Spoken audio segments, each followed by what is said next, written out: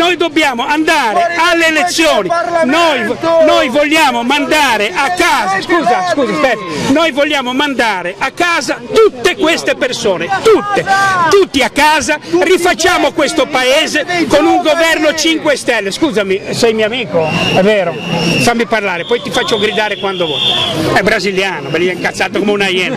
Gli hanno, gli hanno venduto la Telecom brasiliana, l'unica cosa eh, eh, che funzionava della Telecom.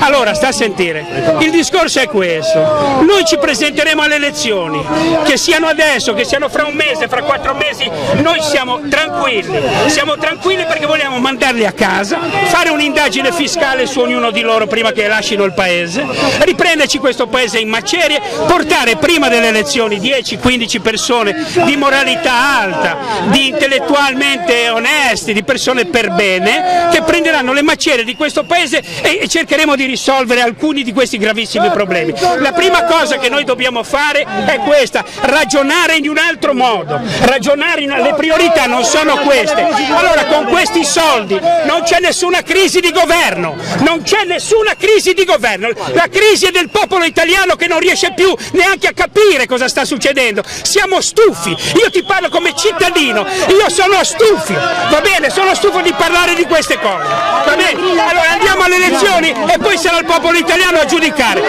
Andiamo.